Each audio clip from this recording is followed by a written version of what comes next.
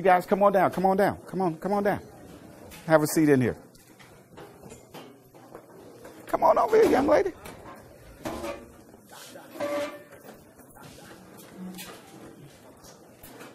Very nice to meet you.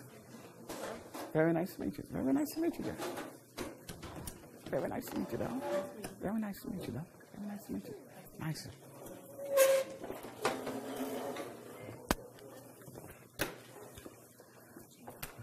See, a lot of people think you have to have a big crowd or something to make a difference. I'm not a firm to believe in that. Listen, I think you're here for a reason. And when we the information I have to share with you, it's going to change your life. If you do and act, see, success is is is not that complicated. See, we just kind of make it complicated. And if you there's some universal laws, and as long as you stay close to these universal laws, you guys are going to be good. Because all of you guys, Detroit, there's nobody in Detroit should go to hell. Because everybody I meet going to church. That's the most going to church community I ever met in my life. Everybody going to church. Listen, but there's one thing about that. You got to be able to be a debating society. What I say, what the ministers say, what anybody say, you got to debate what they say. I don't care who they are. Our so-called leaders, you got to debate them, and you got to debate them between each other.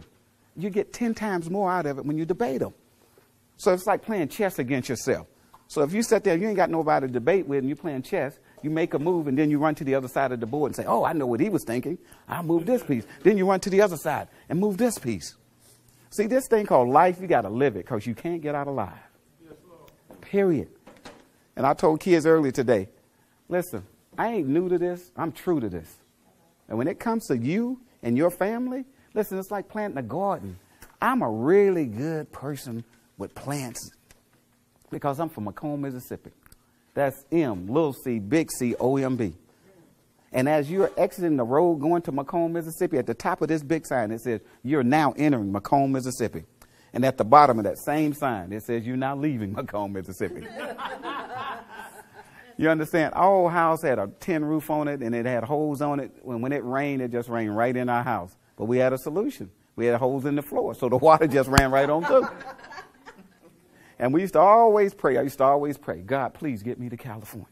That was my state. I have seven sisters, just like the movie. Yes, I do have seven sisters. All of my basketball players uh, plays are named after my seven sisters. I have seven of these championship rings. My team just have a habit of winning. I am a terrific winner. I'm the only coach in America who's never lost a game. Wow.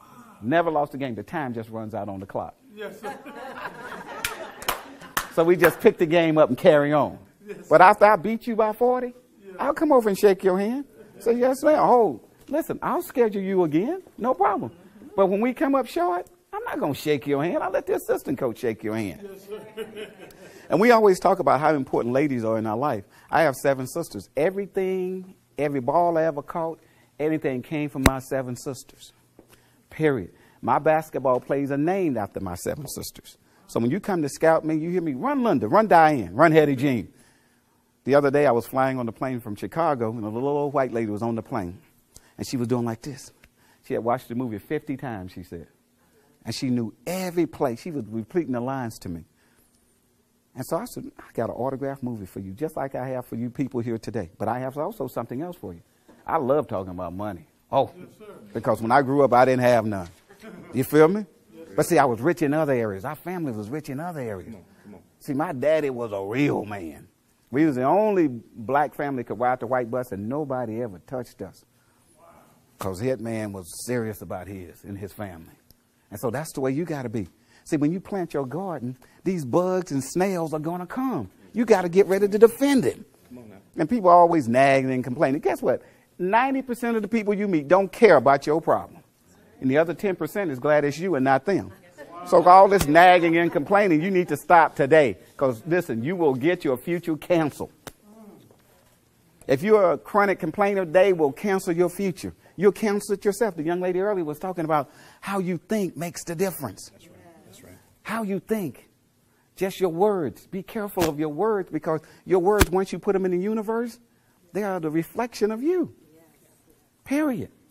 See, we're not human beings having a spiritual experience. We're spiritual beings having a human experience. And there's a difference between being broke and being poor. Being broke is just an economic condition, but being poor is a disabling frame of mind and a depressive one's condition.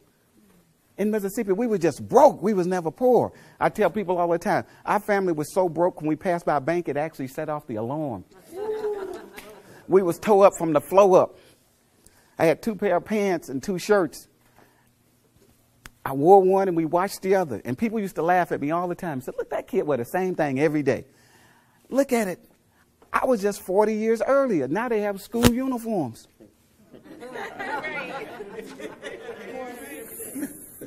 you understand? So it's all in how you look about. No matter what side of the tracks you come from, no matter how big you are, how small you are, it don't make a difference if you got emotion with your actions. You see me? You see the circles under my eyes? Those from all the fights I didn't win. You made my sister cry, even when my brother-in-laws now. They make my sister cry. I'm coming to see you, partner. Period. And so that's the way life is. I'm going to protect what's mine. And that's what we have been doing with our young boys. Now, you guys raise them girls. Be them strong, independent. But then come to them boys. Oh, my God. Coach Carter, I had to rub his legs because his legs were hurting. His legs should hurt after you run 10 miles. That's my goal. And coach, that's my baby. Mrs. Anderson, your baby is six foot five, 240 pounds. I don't think he no more baby. After three feet, no more baby. So this is the thing. You guys have to realize this. The money, there's more money than anything else in this in this world. Now, if you don't have your share, it's just your it's your fault. You ain't been around the right people. You understand? Your homework assignment for me tonight is to go take all the money, all those dead white men's that's on money, and write down their names and what denomination of the bill and put it on your wall. Make a big difference. Because a lot of people in here spend money every day, and I ask you if who's on a $20 bill, you couldn't tell me. You understand? So you have to do your ABCs. Always be getting cash.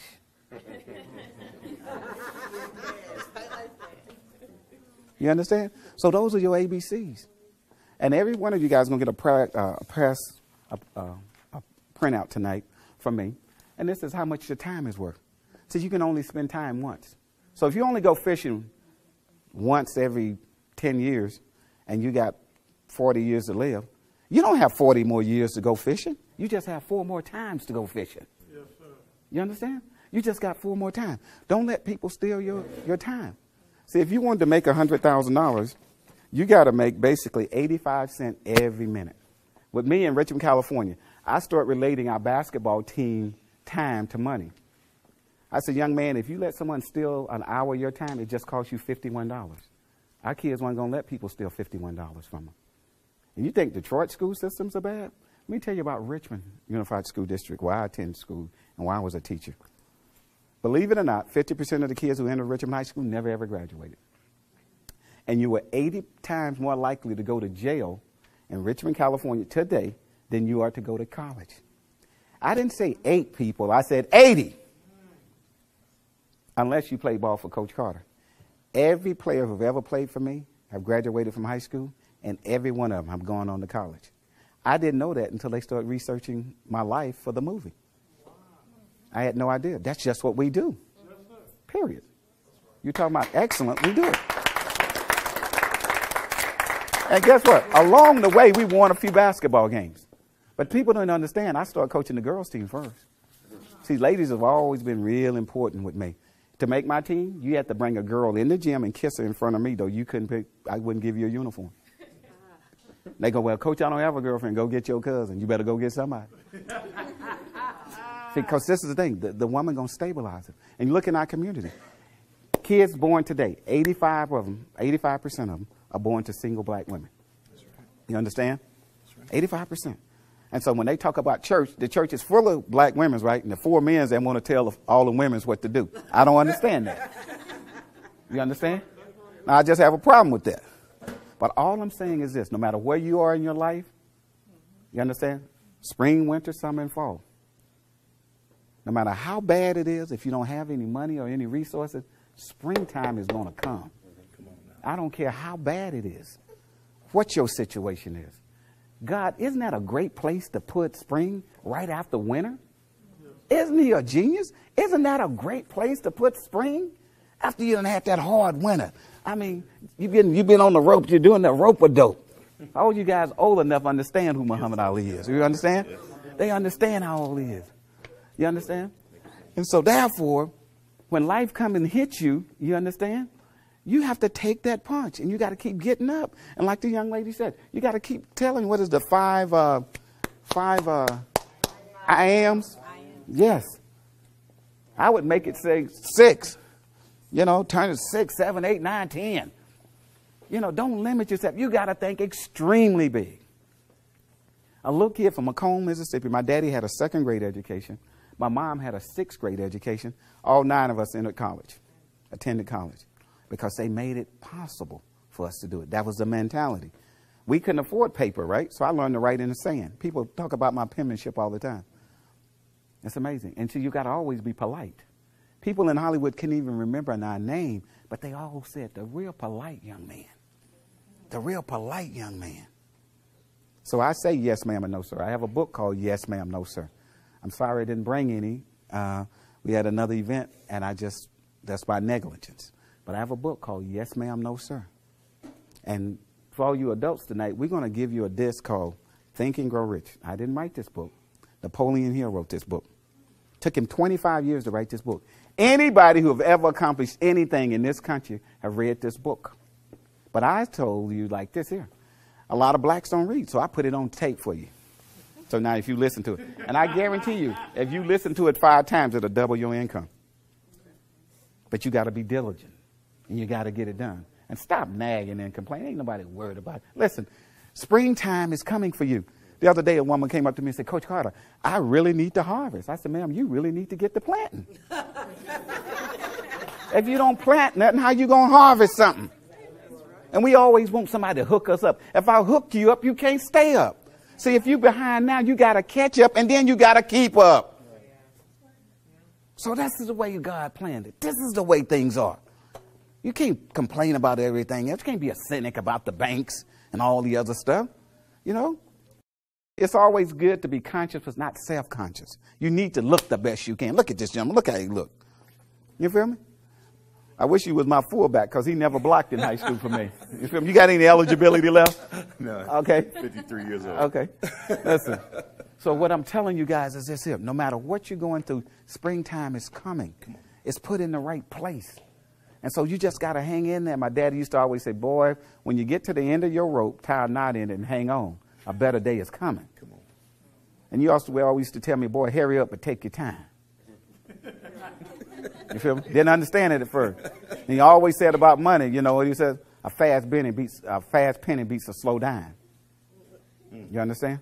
So all these people always talk about they want money. Now I'm gonna just tell you, I've been rich and I've been poor. Being rich is much better. I am telling you, it's much better. And see, I just wanted a brand. When we were talking about the movie, that movie is 98.5 correct. I was on the set every single day of shooting that movie. Period. All seven of my sisters, I get put 300 people in the movie. Got 300 people checks, right? 300 people got checks. So every time you see the movie and it stop on somebody, that's somebody in my family or one of my old coaches. Because I didn't want to share my money with none of them. I put them on Paramount's payroll. That's what business is about. I got a brand. Just like Coca Cola got a brand, mention Coach Carter no matter where I am in the world. I got a brand. Firestone, GM, Ford. I'm just like them. So it was about the business. But see, Coach Carter had a little paper before I even got to Hollywood. I owned a whole block. Took me 15 years to do it. Got up every morning at 5 o'clock. Wash, and I was in the hood, washed my corner down. And I protected my corner. You came to my corner, I don't care what was going on. Partners, you do anything here, I got something for you. Guess what? They stayed away from my corner. See, that's the way you got to protect our kids. You got to keep them healthy mentally, physically, emotionally, spiritually, and financially. See, the disparity between what other people make and, and what we actually make is totally different. See, we think we got to make money. See, they earn money. See, the only people who make money in the United States work in Washington, D.C. at the U.S. Mint. Those are the only people who make money. and my cousin Mookie in his garage. but the way you're going to earn money is with the ability to think. You got to use this muscle.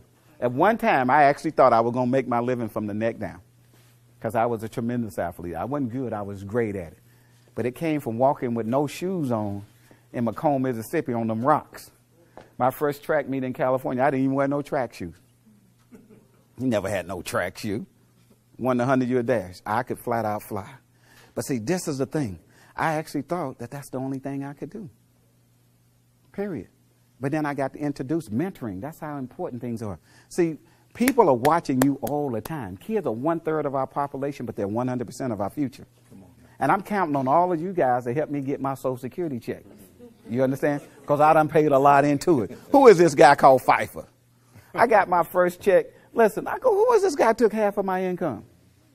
You understand? And people always want to ask me, Coach, you got, you know, because they don't meet people who got movies who just a common guy like me. You can walk up to me anywhere. I'm still listed in the phone book. People call me at home and they go, I didn't expect you to answer the phone. I said, Why did you call? the other day I was pumping gas into my truck. I drive a Ford F 150 truck. And I was pumping gas, and the guy kid walked up to me and he said, You're Coach Carter. I went, Yeah. He said, But you pumping your own gas. I said, Young man, how you think the gas gonna get out of the pump into the truck? And so people have a different idea of what success is. And people always want to ask you, well, how much did you get paid for that? And I'll simply tell you guys this. You know how you endorse a check? And you quite don't have enough money in the bank, but you, you, you kind of write the check anyway because you're going to beat the check to the bank. And you're going down 8 Mile and a train come across the track. Can't make it there. What happens to that check, young lady? It bounces, all right? Well, when Paramount Pictures gave me my check for my life story, I endorsed that check. I deposited it into the bank, and the bank bounced. You understand? Now, when you make the, bounce, the bank bounce, you done did something special, right? All of you guys can do the same thing. I ain't nobody special. I'm just mean enough to go get mine. But see, you can't fight with your fists all the time. You got to fight intellectually. You feel me? So I'm going to give you some information here to keep you healthy, mentally, physically, emotionally, spiritually, and financially. This young lady was talking about health. I got something here. I plant a garden every year, all year round. I got 10 acres with my school. I have a school in a little town called Marlin, Texas.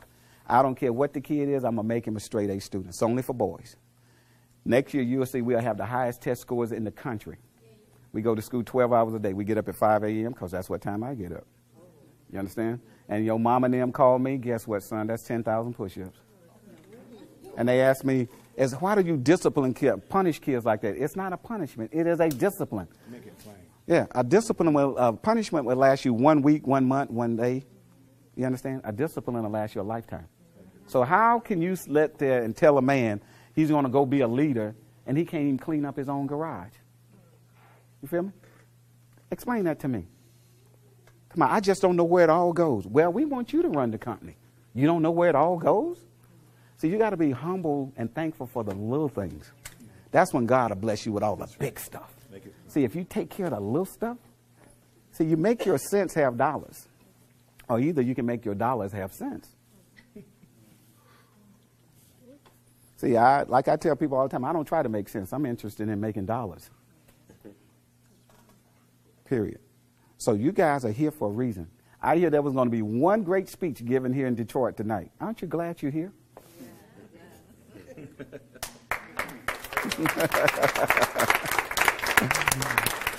so what I want to tell you guys is this. Coaching, you're a coach and you're a teacher. And the reason I have all the championships, other coaches coach their kids basketball. I teach my kids basketball. Totally different. But I started coaching the girls team. Nobody wanted the job. They had won four games in 10 years. I took the job. Never practiced with them because I understood my seven sisters. I just let the girls sit in a circle and talk about the boys and how, how, how was their day. One day before our first game, I had pulled the balls out and we, I showed them how to do a layup. Now, I only like asking men this question because they know a lot about basketball. Young man, how many games you think we won? First 16 games, how many games you think we won? No practice, no nothing. How many games you think we won? 12. How many games you think we won? 14. 14. How many games you think we won, young man? 20. 20? And uh, we only played 16 right. so far. How many games you think we won? Four. Four. Seven. How many games you think we won? Three. I have to say this to you. I have a movie. Last time I checked, they don't make no movies about losers. They make movies about winners. Of course, we won our first 16 games. But I implemented this great rule. I implemented, if you pass the ball five times, you shoot it no matter where you are. The girls would go one, two, three, four. Oh my God, five. I have the ball. I said, shoot. She threw the ball from almost half court. The ball went in. I was the greatest coach ever. Now, with all of that success, we get to the championship. Guess what? My point guard would not pass the ball to my leading scorer. So I called timeout, and as the girls were walking over to me, I yelled, I said, How come you won't pass her the ball? She said, Coach, I can't stand her. I said, What? Now, remember I'm telling you, all that success, winner gonna show up? Mm-hmm. Winner showed up. She said, Coach, I can't stand her. But I have seven sisters, so I understand. You understand? You know, a woman never catches a cold when she's dressed up. You understand? Shoes can be hurt and let some men get close. So you got to understand the psyche. But this is the thing. I called timeout, my final timeout, and I walked over to two young ladies and I said, Young ladies, I said, I'm going to take everybody shopping. Guess what? We won that game by 10 points. See, you just got to have a little slump buster in life. It can be the smallest of things. And we won the championship. That's the only trophy I have in my house is the trophy I won with the girls. Because I truly deserve that trophy. I truly, because I found out. And let me tell you a secret about young people. So, can I tell them the secret, sir? You, you sure? Yes, you let me tell you guys a secret about young people. They will lie to you. I go, young man, how's your grades? Coach, I have A's and B's. You check, they got C's. Young man, how's your grades? Coach, I have C's and B's. You check, they have them one-legged A's. so what I'm telling you, you got to smile. You got to have personality. People do business with people they like. You understand? So the information that was shared with you guys tonight, listen, you got to preach what you practice. See, a lot of people practice what they preach. And you see what they, you got to practice what you preach. Did I say that right? Preach what you practice. There we go. See, that's why I have great minds around me. You understand? So if I don't get it right, that's why we are a team. See, now you're, you're attached to a winner. That's what I do. I love winning. I can't stand losing. Oh, I can't stand losing. And people always nagging complaining, talking about losing. I said, that's your fault. You want to come up on the short end. You're not dressing the way you want to dress and drive what you want to drive and live what you want to live. Listen, that's your fault. Ain't nobody's fault. Because listen, you can sit there and complain all you want to. Ain't nobody cares. Now, to the person to the right of you and to the left of you, shake their hand and say, I validate your ability to be successful. Do it. What is our time? What is our time like? How much more time I have? Two minutes. Okay.